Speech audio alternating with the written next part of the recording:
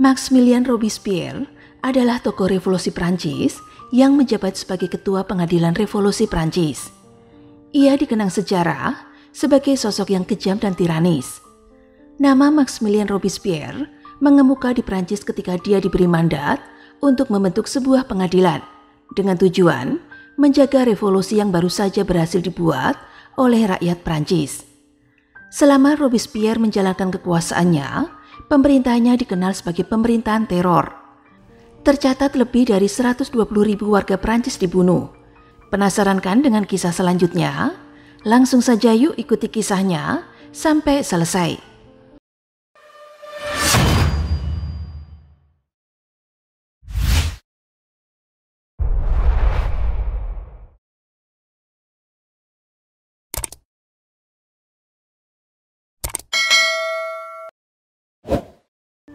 Terlahir dengan nama Maximilian Francois Marie Isidore de Robespierre atau lebih dikenal sebagai Maximilian Robespierre. Lahir pada tanggal 6 Mei tahun 1758. Ia lahir di kota Arras, Provinsi Artois Utara Prancis. Meskipun sejarawan telah menduga selama berabad-abad bahwa keluarganya berasal dari Irlandia, namun pada saat Robespierre lahir, mereka telah menjadi warga negara Prancis selama beberapa generasi. Ayahnya bernama Francois Maximilien Barthélemy de Robespierre, adalah seorang pengacara di Konsil de Artois. Sedangkan ibunya bernama Jacqueline Marguerite Caraol. Robespierre merupakan anak sulung dari empat bersaudara. Saudara-saudaranya adalah Charlotte, Henriette, dan Augustine. Pada bulan Juli tahun 1764, ibunya meninggal setelah melahirkan adik perempuannya yang lahir mati. Ketika itu ibunya berusia 29 tahun dan Robespierre kala itu masih berusia 6 tahun. Hancur karena kematian istrinya, ditambah dengan menjaga empat orang anak yang masih kecil-kecil, dirasa terlalu berat bagi ayahnya. Sehingga pada tahun 1767, ayahnya meninggalkan kota Aras dan meninggalkan putra dan putrinya dalam asuhan kerabatnya.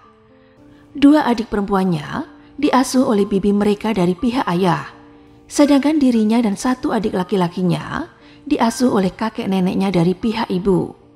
Kematian ibunya memiliki efek mendalam pada Robespierre muda. Dia sekarang bukan lagi sebagai anak yang periang, tetapi dia menjadi lebih pendiam dan bermuka serius. Dia juga rajin belajar di sekolahnya, seolah-olah menenggelamkan kesedihannya dalam studinya. Karena ketekunannya dalam hal belajar, Robespierre dianugerahi beasiswa ke Lycée Louis Le Grand di Paris. Seperti ayahnya, Robespierre belajar hukum dan meraih gelar sarjana hukum pada tanggal 31 Juli tahun 1781. Meskipun dia belajar di Paris, dia memilih kembali pulang ke kampung halamannya di Arras dan menjadi pengacara di kotanya. Selain hukum, Robespierre juga belajar tentang sastra dan filsafat, terutama karya-karya Jean-Jacques Rousseau. Rousseau adalah seorang pengacara terkenal karena pemikirannya yang dianggap kontroversial pada saat itu, di mana bentuk pemerintahan yang lebih demokratis akan lebih cocok diterapkan dalam suatu negara. Namun Robespierre tidak bisa membaca karya Rousseau di perpustakaan Lesi. Karya-karyanya dianggap sangat berbahaya bagi penguasa monarki sehingga kopian buku karyanya yang terkenal yang diterbitkan 20 tahun sebelumnya harus diselundupkan.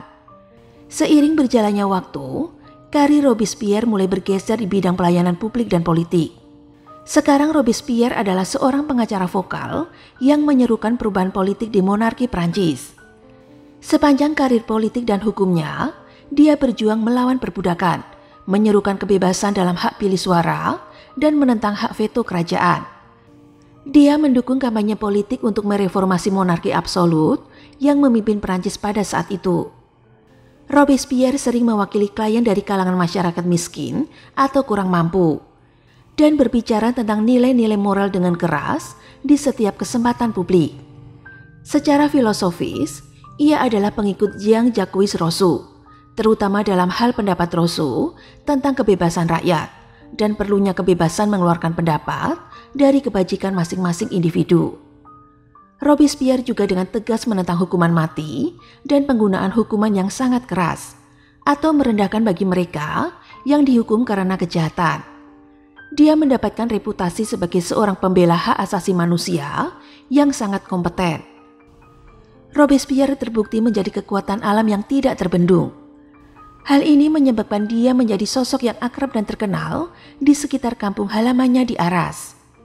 Di Prancis pada saat itu, masyarakat terpecah menjadi tiga kelompok dengan tingkat kekuatan politik yang berbeda-beda. Estet pertama adalah tokoh agama Katolik, estet kedua adalah aristokrasi atau bangsawan, sedangkan estet ketiga mewakili rakyat jelata. Pada tahun 1780-an, Prancis sangat kehabisan uang. Raja Louis XVI telah menghabiskan banyak uang dalam membantu Amerika pada dekade sebelumnya. Ini diperparah dengan jumlah pengeluaran yang cukup besar dari pihak monarki. Upaya penunjukan pergantian Menteri Keuangan untuk mencoba membalikan ekonomi negara yang lesu tidak banyak menunjukkan perubahan. Pada akhir dekade, ada seruan yang berkembang untuk diadakan pertemuan estate general yang mewakili tokoh agama, bangsawan, dan rakyat. Sementara itu, raja secara sepihak memberlakukan serangkaian undang-undang untuk mengisi pundi-pundi kerajaan. Ini termasuk kenaikan pajak dan pemotongan pengeluaran untuk layanan penting. Hari berikutnya, parlemen Perancis mengutuk tindakan raja bahwa kenaikan pajak sebagai tindakan yang tidak bijaksana. Tanggapan raja adalah mengasingkan parlemen.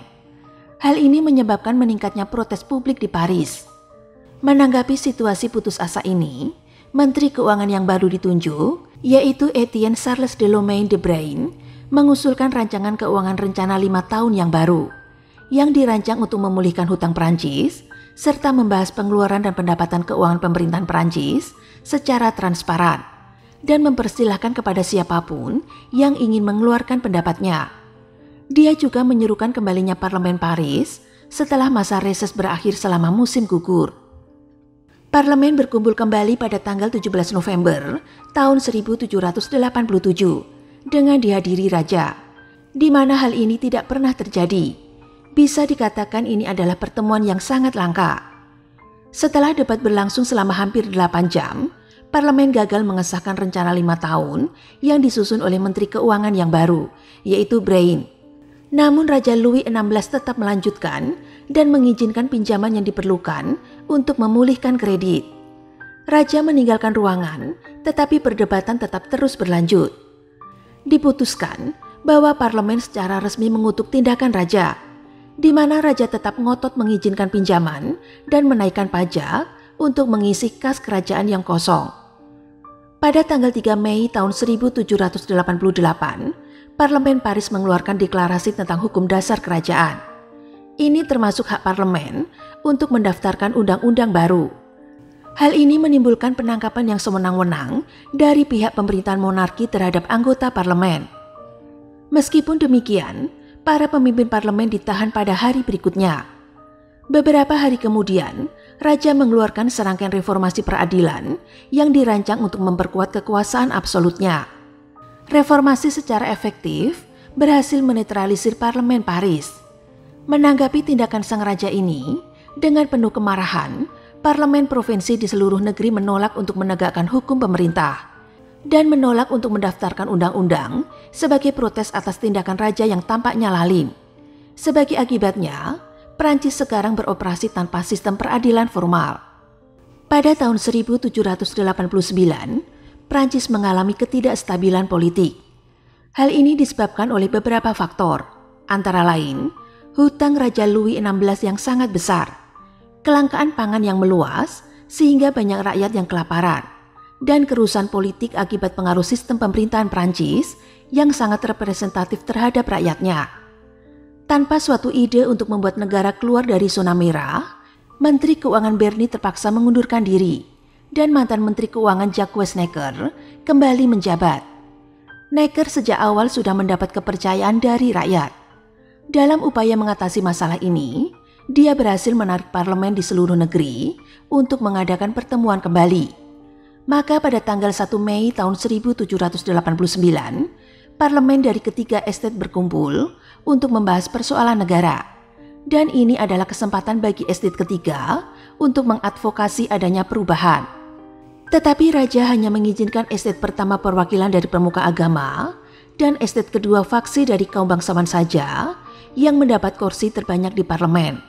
Sedangkan untuk perwakilan estate ketiga, jumlahnya dibatasi. Sebenarnya ada banyak fraksi politik yang berbeda di estate ketiga.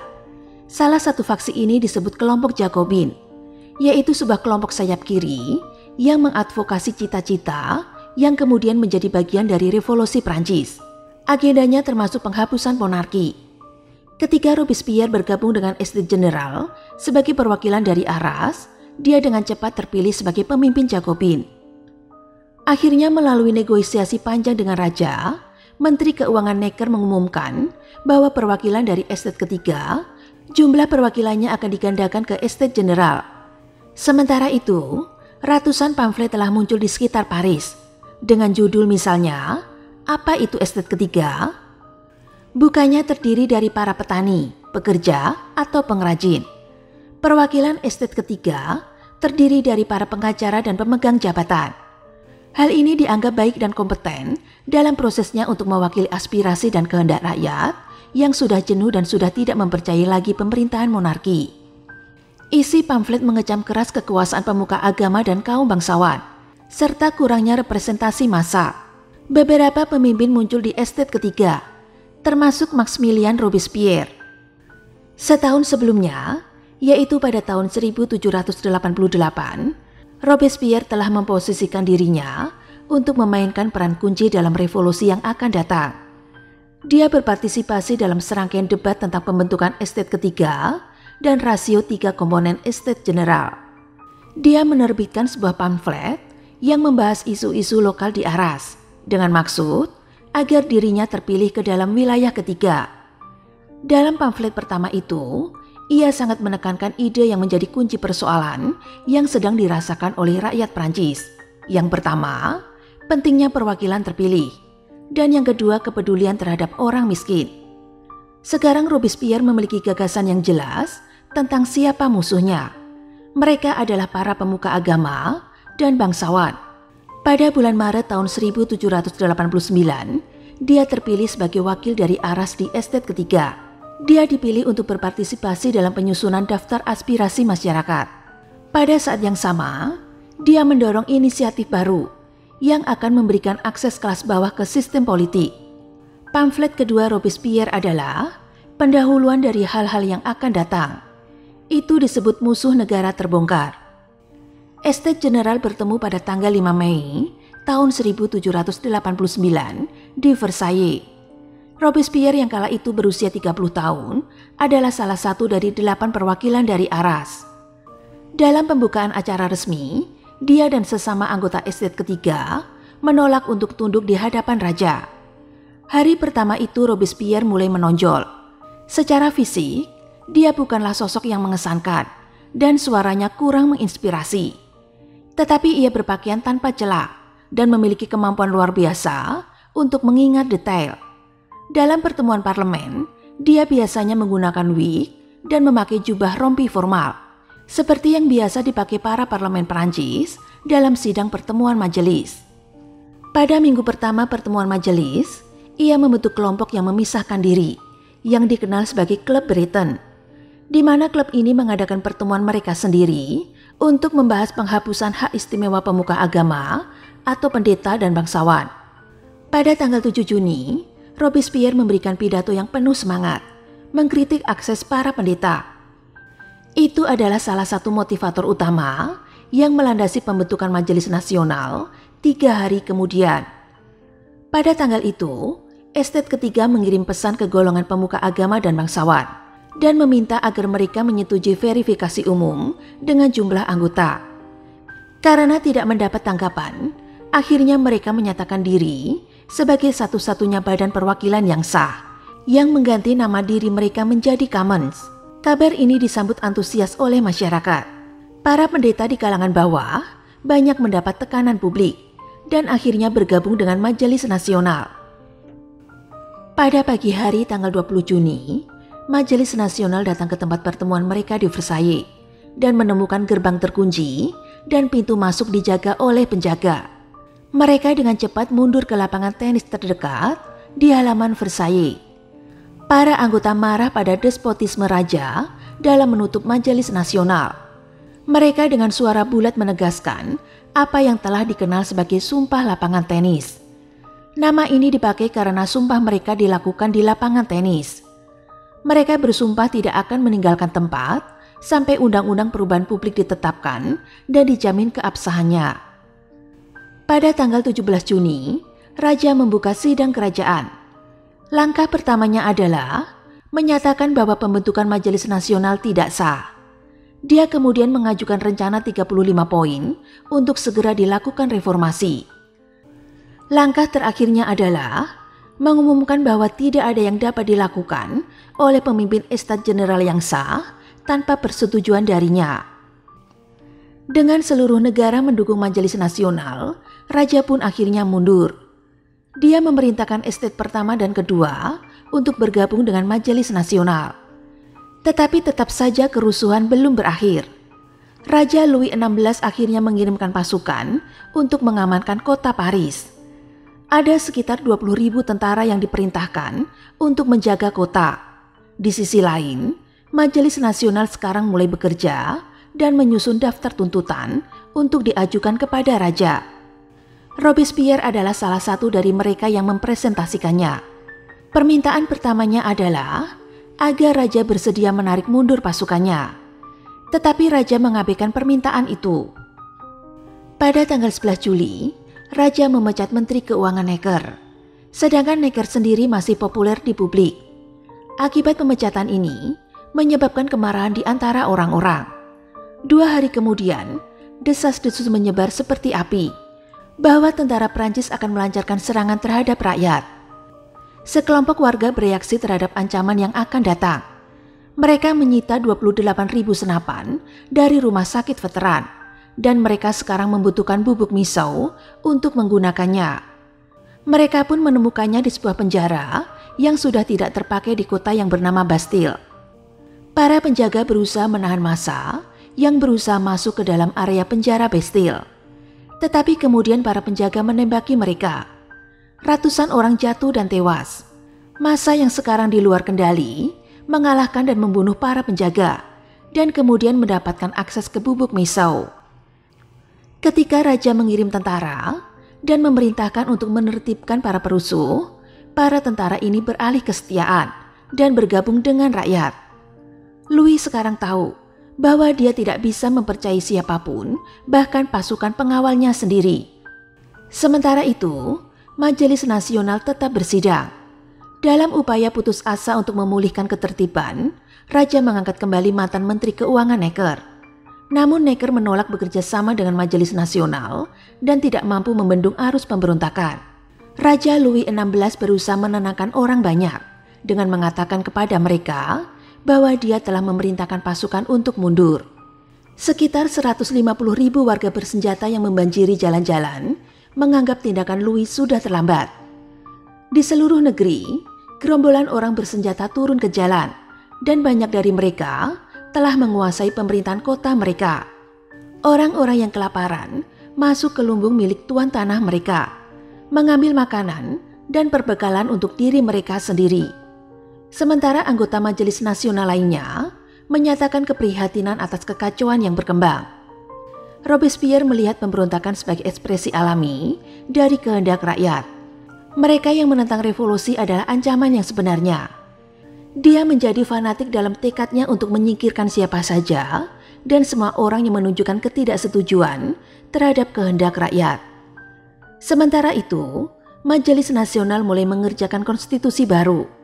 Deklarasi hak asasi manusia dan hak pilih warga pada tanggal 26 Agustus Raja tidak menanggapi deklarasi tersebut sampai bulan Oktober saat kerusuhan di jalan-jalan sedang berlangsung. Ia mengungkapkan ketidaksetujuannya pada sejumlah pasal dalam deklarasi tersebut. Pada saat yang sama, Louis memanggil resimen elit Flanders ke Versailles untuk memberikan perlindungan ekstra. Pada pagi hari tanggal 5 Oktober, sekelompok besar petani wanita berbaris di Versailles Mereka menuntut tepung sebagai bahan pokok untuk membuat roti dan palawija yang keberadaannya semakin langka. Mereka bertemu Robespierre di gerbang, di mana Robespierre menunjukkan empati atas situasi mereka. Robespierre berhasil menegosiasikan seorang wanita lajang untuk bertemu dengan raja. Louis setuju untuk pelepasan dua gudang palawija. Tapi sekali lagi tindakannya ini terbilang sudah terlambat. Menjelang malam, banyak orang berkumpul di Versailles dan banyak dari mereka bersenjata. Mereka berjaga sepanjang malam. Kemudian pada pagi hari tanggal 6 Oktober, sekelompok orang dari mereka berhasil masuk ke kamar ratu. Ratu Mary Antoinette berhasil melarikan diri, tetapi dua pengawalnya terbunuh. Pasangan kerajaan dipaksa meninggalkan istana dan dipindahkan di istana Tuileries di Paris oleh kaum revolusioner. Raja dan ratu menghabiskan beberapa bulan berikutnya sebagai tahanan di Istana Tuileries. Kekuasaan pemerintahan sekarang berada di tangan Majelis Nasional. Di antaranya pengaruh Robespierre semakin menonjol. Selama tahun berikutnya, Majelis bekerja menuju monarki konstitusional.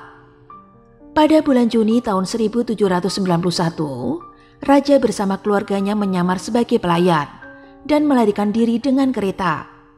Louis XVI meninggalkan sebuah dokumen yang dengan jelas mencela Majelis Nasional.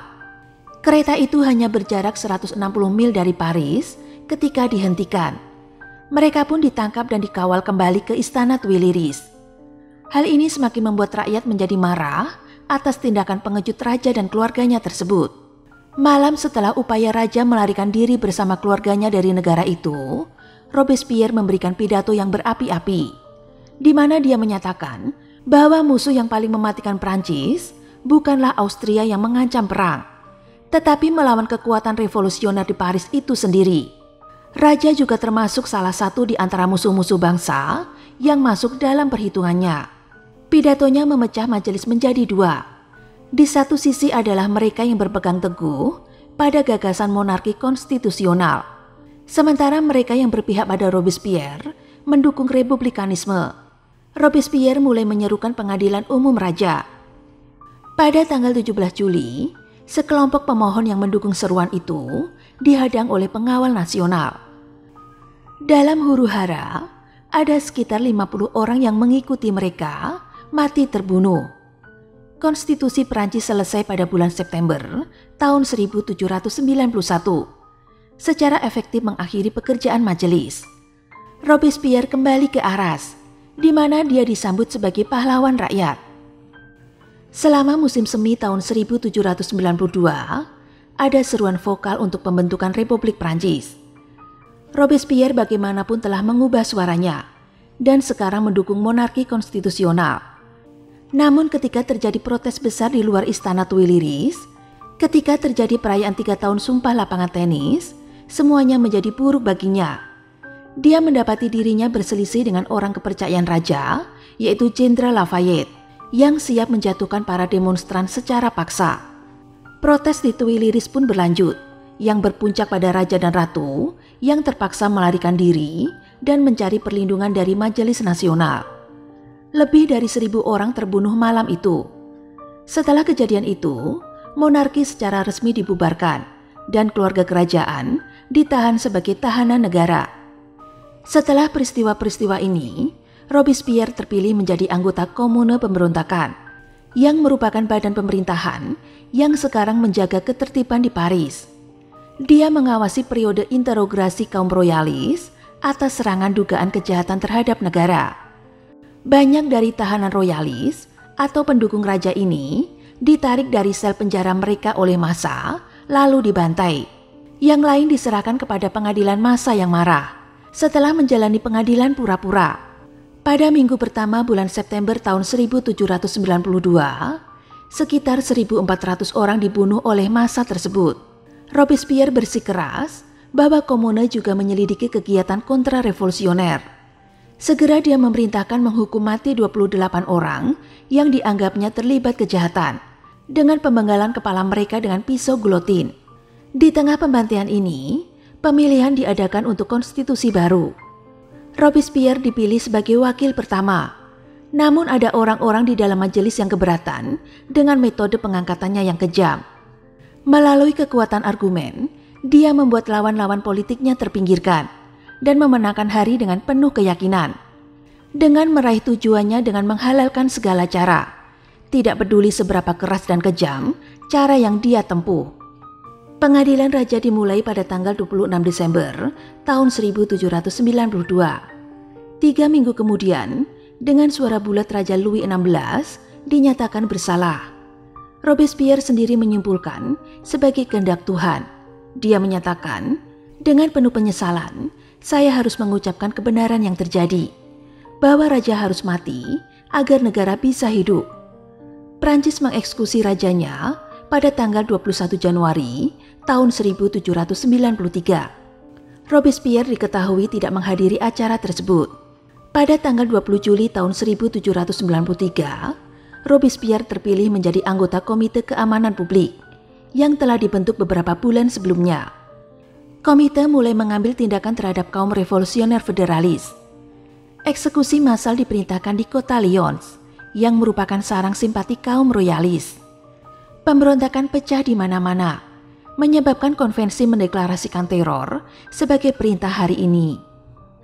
Pada tanggal 17 September, mereka mengesahkan undang-undang yang mengizinkan mereka untuk membunuh siapa pun yang terlibat sebagai pendukung tirani. Terperangkap dalam jaring pemerintahan teror adalah Mary Antoinette. Setelah pengadilan palsu, dia dikirim ke gulotin pada tanggal 16 Oktober tahun 1793. Robespierre sekarang mengarahkan pandangannya pada mantan penentang majelis nasionalnya, yaitu Girondis. Girondis adalah sekelompok delegasi dalam konvensi nasional yang termasuk kelas menengah ke atas. Nama mereka berasal dari Departemen Girondi di barat daya Prancis, tempat banyak anggotanya berasal.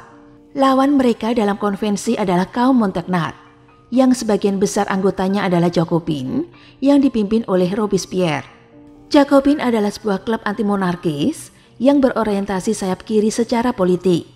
Orang-orang frustasi karena kesetaraan sosial yang diinginkan oleh kaum revolusioner belum tercapai.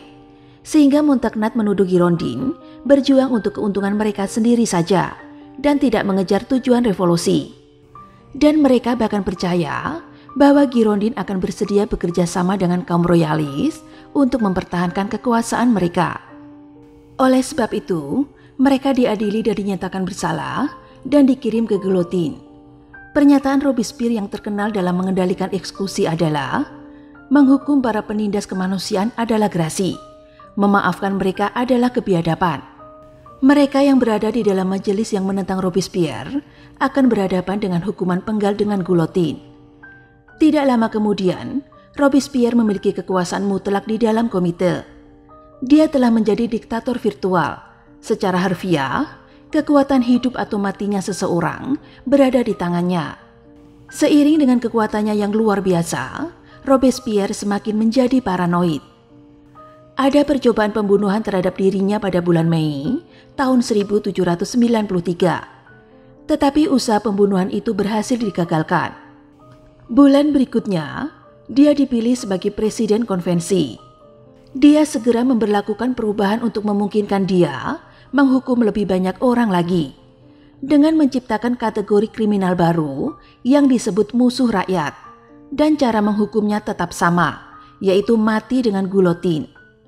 Pada saat ini, Robespierre telah bertindak terlalu jauh. Orang-orang mulai menolak kekuasaan terornya. Musuh politiknya mengatur surat palsu yang tampaknya melibatkan Robespierre dalam upaya kudeta. Dia membela diri dalam tuduhan kediktatoran dalam pidatonya dua jam dalam proses peringatan terhadap konspirasi yang sedang berkembang melawan Republik. Tapi itu tidak berhasil. Hari berikutnya dia ditangkap oleh pasukan dari Komune Paris. Ketika itu Robespierre dan para pengikutnya ditemukan sedang bersembunyi di Hotel de Ville. Mereka dinyatakan sebagai penjahat oleh konvensi, yang berarti bahwa ketika tertangkap, mereka dapat langsung dihukum mati. Ketika pasukan konvensi mendekati hotel, Robespierre dan orang-orang yang bersamanya mencoba bunuh diri. Beberapa dari mereka berhasil, tetapi upaya Robespierre bunuh diri dengan cara menembakkan kepalanya hanya berhasil menghancurkan rahang bawahnya. Dengan darah mengalir dari wajahnya, Robespierre dibaringkan di atas meja di ruang komite keamanan publik. Sebelum dipindahkan ke sel penjara, yang dulu pernah ditempati oleh Ratu Mary Antoinette sebelum kencannya dengan guillotine. Algojo penjabut nyawa Robespierre akhirnya datang pada tanggal 28 Juli tahun 1794 ketika dia menjadi korban terakhir dari pemerintahan terornya. Beberapa detik sebelum pedang itu jatuh, Algojo merobek perban yang menahan rahangnya, sehingga menyebabkan dia menjerit kesakitan. Itu segera dibungkam dengan pedang gulotin yang mematikan, dan akhirnya mengakhiri pembantaian yang telah dilakukannya selama ini, karena pandangan menyesatkan Robespierre tentang keadilan. Dari cerita hari ini, apa yang bisa teman-teman simpulkan tentang hukuman Robespierre terhadap revolusi Prancis? Setuju atau tidak dia mendapat hukuman mati seperti itu? Silahkan tulis pendapat teman-teman di kolom komentar. Terima kasih sudah mendengarkan cerita Adelisti pada hari ini dan tunggu cerita-cerita selanjutnya yang lebih seru.